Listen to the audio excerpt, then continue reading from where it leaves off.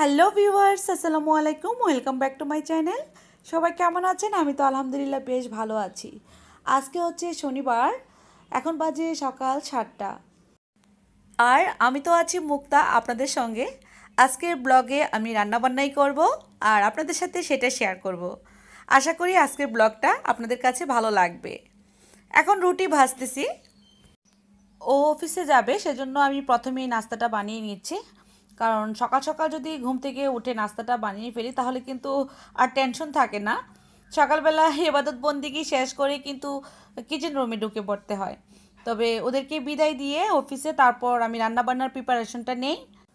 আর শনিবার দিন আমার বেবিদের স্কুল বন্ধ থাকে। শুক্র, শনি দুই দিন থাকে আর কি, সপ্তাহে বন্ধ।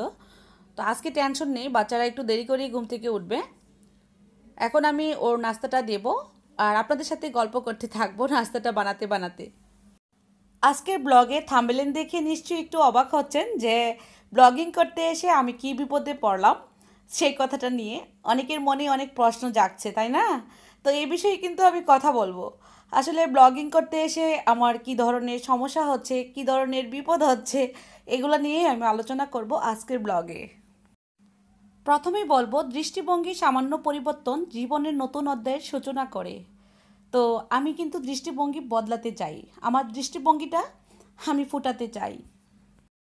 আমাকে কেউ আপনারা দেখছেন না বা চিনছেন না। আমি যে কাজ করি, তার মধ্যেই আমার আসল চরিত্র প্রকাশ হয় বা ফুটে ওঠে, তাই না? আমি যে কাজটা করতেছি, এটা দিয়ে কিন্তু আমার পরিচয়।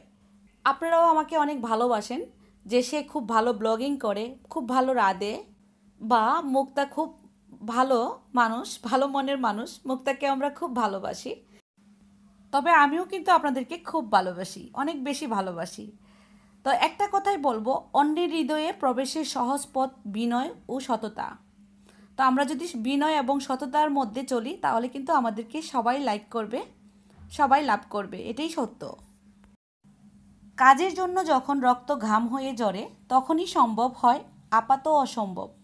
কষ্টকর কাজ সম্পাদন করেই কিন্তু আমি অমরত্ব লাভ করতে চাই। সেজন্যই আমি ব্লগিং করি, রান্নাবান্নার চ্যানেল চালাই, অনেক কষ্ট করি। মডেল পথ দেখায় আর সমালোচনা শুধু সমালোচনাই করতে থাকে। আমি আমার বিশ্বাসের মডেল হব। আমি বিশ্বাসী সত্যি আমি বিশ্বাসী। আমি আমার কাজের মধ্যে আমি অনেক বিশ্বাসী। আমি ভালো ভালো কাজ করব আর ভালো ভালো জিনিস উপহার দেব আপনাদেরকে। আমি কিন্তু আমার সুলতানাস কুকে যতটা ভালোবাসা পেয়েছি, ব্লগ চ্যানেল খুলেও ততটাই ভালোবাসা পাচ্ছি আপনাদের কাছে। আমি কিছু শেখাতে চাই, কিছু দিতে চাই। আমার কাছ থেকে কিছু মানুষ কিছু শিখবে, এটাই কিন্তু আমার কাছে অনেক বড় পাওয়া। বিশ্বাস শক্তির আকর, আমি বিশ্বাসী। বিশ্বাসের শক্তি আমার সাফল্যকে নিশ্চিত করবে, এটাই মনে করি আমি। এখন নাস্তাটা খাবে ও, আমিও একটু খাব। তারপর রান্নার প্রিপারেশন নেব। রান্না করতে করতে কিন্তু আজকে কথাই বলব। আর আপনাদের যদি ভালো লাগে, তাহলে তো অবশ্যই আমার পাশেই থাকবেন। আজকে রান্না করতে করতে অনেক কথা বলব আপনাদের সঙ্গে।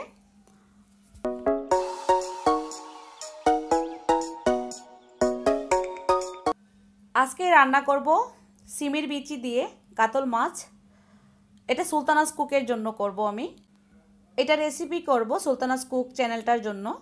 এখন এটাই বলব যে আসলে অনেক সমস্যা হয়ে যায় ব্লগিং চ্যানেল চালাতে। এটা তো রেগুলার ব্লগ। আমাকে রেগুলার কাজ করতেই হয়। রেগুলার ব্লগগুলো দিতেই হবে। আর সুলতানাস কুকে কিন্তু আমি আগে প্রতিদিন ভিডিও দিতাম। প্রতিদিন একটা করে রেসিপি দেওয়ার চেষ্টা করতাম। কারণ আমার দর্শকরা, আমার ফ্রেন্ডরা কিন্তু সবসময় আমার রেসিপির অপেক্ষায় থাকে। কিন্তু এখন আর তা পারছি না। কারণ রেগুলার ব্লগিং করতে হচ্ছে আমাকে রেগুলার ব্লগ দিতে হচ্ছে। সেজন্য কিন্তু ওটাতে আমি একটু রেসিপিগুলো কম দিচ্ছি, একদিন দুদিন পর পর দিচ্ছি। আর আপনাদের সাথে সেগুলো শেয়ার করতে পারি না, কিন্তু আপনারা অনেকেই কিন্তু আমার ওই চ্যানেলে গিয়ে আমার রেসিপিগুলো দেখেন, খুব লাইক করেন। এটাও কিন্তু আমার কাছে খুব ভালো লাগে। তবে এই রেসিপিটা আমি আজকেই আপলোড করেছি, আমার সুলতানাস কুকে আপনারা ওখান থেকে দেখে ফেলবেন। সমস্যা নেই, যেহেতু আপনারা আমার দুইটা চ্যানেলের মধ্যে আছেন, আমাকে অনেক ভালোবাসা দিচ্ছেন, এতেই আমি বড় খুশি। এখন বলব, আমি কিন্তু ব্লগ চ্যানেলটা খুলেছি শুধু। রেসিপিগুলোর মধ্যে আমি অনেক কিছু ডিটেলস ভেঙে ভেঙে বোঝাতে পারি না বা অনেকগুলো রান্না দেখাতে পারি না। আমি চাই যে নিত্যদিন আমরা যেভাবে খাই বা যেভাবে আমরা রান্নাবান্নাগুলো করি, এগুলো কিন্তু নতুন যারা, তাদের জন্য কিন্তু অনেক হেল্পফুল হয়ে যায়। তার জন্যই কিন্তু আমি অনেকগুলো রান্না একসাথে করার চেষ্টা করি, যে রেগুলার আমরা কিন্তু দুই তিনটা তরকারি ছাড়া ভাত খাই না, দুপুরের আইটেমগুলো তো সেগুলো আমি খুব সুন্দর করে ভেঙে ভেঙে বোঝাতে পারি। আর আপনারাও অনেক লাইক করেন। এর জন্যই কিন্তু আমার ব্লগ চ্যানেলটা খোলা। কারণ আমার ওই চ্যানেল থেকে আমার আইডিয়া হয়ে গিয়েছে যে, আমি আরও সুন্দর করে বোঝাতে পারলে আরও একটু ভালো হবে। আমি জাস্ট বোঝানোর জন্যই কিন্তু ব্লগ চ্যানেলটা খুলি এবং সুন্দরভাবে বোঝানোর চেষ্টা করি, আপনাদের সাথে সব কিছু শেয়ার করার চেষ্টা করি। এখন বলব ব্লগ চ্যানেলটা চালাতে গিয়ে ওই রেসিপি চ্যানেলটাতে সময় কম দিতে হয়। কারণ দুইটাতেই কিন্তু আমার কাজ করতে হয়। ল্যাপটপে আমাকে অনেক সময় দিতে হয় ভিডিও এডিটিং করতে হয়। সংসার চালাতে হয়, বাচ্চাদের স্কুলে দৌড়াদৌড়ি করতে হয় সব কিছু মিলিয়ে একটু সংকটেই আছি। তবে আপনারা যদি আমার পাশে থাকেন, আমার জন্য দোয়া করেন আল্লাহ রহমতে আমি পারব দুইটা চ্যানেল সুন্দরভাবে চালিয়ে যেতে। আমি যাতে এভাবেই কাজ করে যেতে পারি, আপনারা আমার জন্য দোয়া করবেন। এখন আমি আমার নিজের পার্সোনাল ব্যাপারে দুই একটা কথা বলব। আমাকে অনেক আপুরা, ভাইয়ারা কমেন্ট করেছেন। অনেক আগে থেকে কমেন্ট করে কোশ্চেন করতেছেন যে, আপু, আপনার হাতের চুরিটা কিসের? আপনি কি কোয়ান্টাম মেডিটেশন করেছেন? কোর্স করেছেন? হ্যাঁ অবশ্যই আমি কোয়ান্টাম গ্র্যাজুয়েশন করেছি। আমরা গ্র্যাজুয়েট পরিবার কোয়ান্টাম মেডিটেশনের আমি কোয়ান্টাম মেথডে দুইবার গ্র্যাজুয়েশন করেছি আর আমার হাজব্যান্ড করেছে ছয়বার। আমার বাচ্চারাও করেছে, ওরাও আমার সাথে দুইবার করেছে। আমরা কোয়ান্টাম গ্র্যাজুয়েট পরিবার। তবে এটা আমাদের আসলে পার্সোনাল ব্যাপার ছিল। আর আপনাদের অনেক কোশ্চেনের কারণে কিন্তু আমি আনসারটা দিয়ে দিলাম। কারণ আপনারা তো আমার ভালোবাসার মানুষ, আপনাদেরকে আনসার দেবো না তো কাকে দেব? আসলে কমেন্টের মাধ্যমে আমি আমার এগুলো তুলে ধরতে পারি না, কারণ এতটাই সময় কম আমার হাতে। আমি একদিকে সংসার, একদিকে দুইটা চ্যানেল হ্যাঁ নিজের ব্যস্ততার কারণে কিন্তু অনেকের অনেক আনসার দিতে পারে না, সেজন্য কেউ মন খারাপ করবেন না। যেহেতু ব্লগিং করছি ব্লগের মাধ্যমে কিন্তু আমি আপনাদের সবার আনসার দেওয়ার চেষ্টা করব। সবার যার যার যে মন্তব্য থাকে কমেন্ট থাকে, ওগুলো আপনারা করবেন। আমি একদিন না একদিন আমার ভিডিওর মাধ্যমে কিন্তু বলে ফেলব। আজকে কিন্তু রান্না করতে করতে শুধু কথাই বলব। আমি এদিক থেকে লাউ তরকারি রান্না করতেছি। আজকে লাউ তরকারিটা রান্না করে দেখাবো খুব পারফেক্ট পাবে আপনারা একটু দেখে দেখে বুঝে নিতে হবে।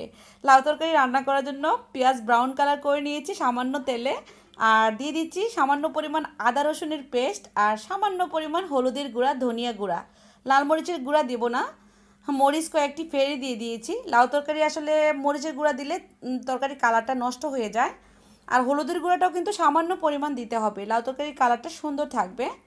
আমি আজকে তেলাপিয়া মাছ দিয়ে এটা রান্না করব। সাথে কাতল মাছের দুইটা পিসও দিয়ে দিব। এখন এই মশলার মধ্যে মাছগুলো একটু কষিয়ে নামিয়ে রেখে তারপর লাউ দিয়ে দিব।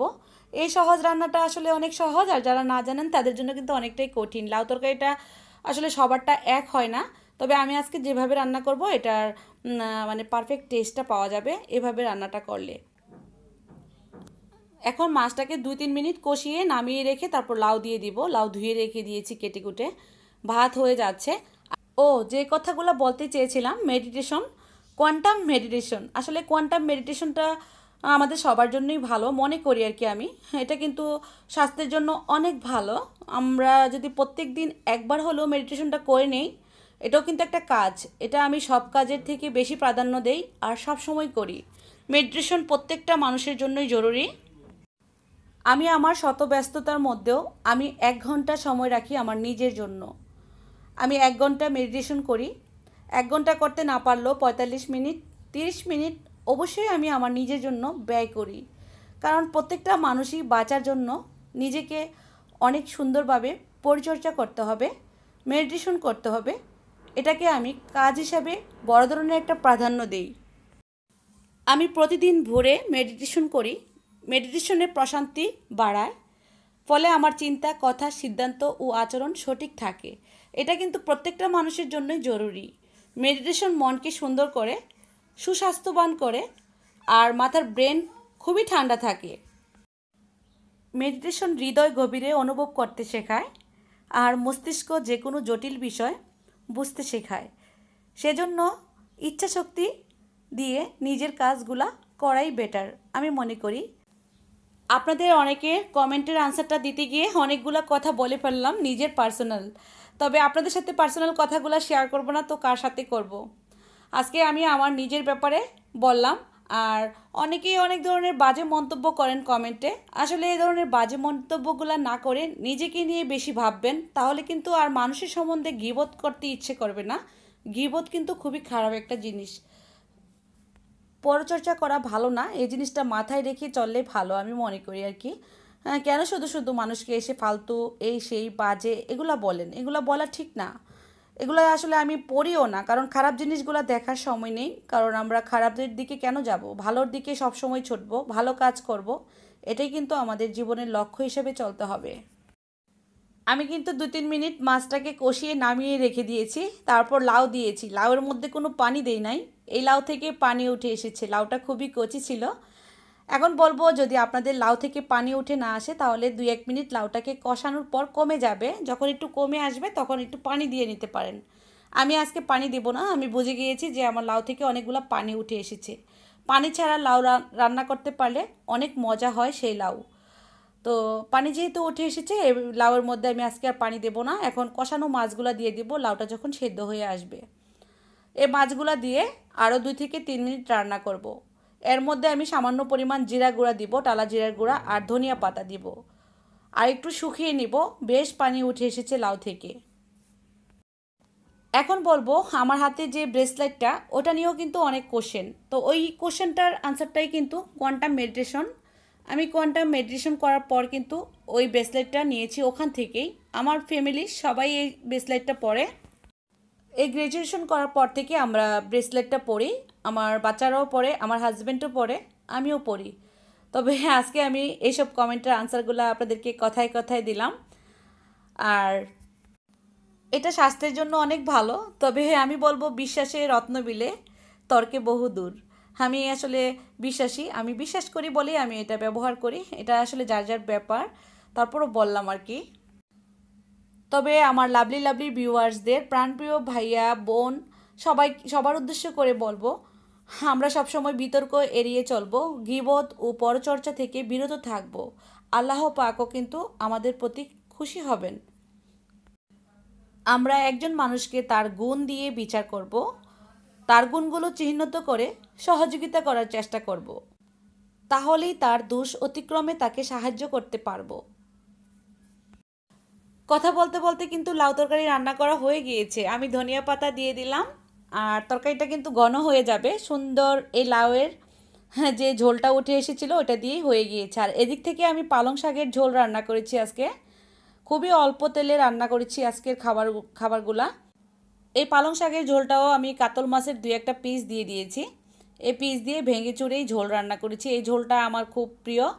তবে এই ঝোলটা দিয়ে একটু ভাত খাওয়া যায় আমার ভালো লাগে আর কি।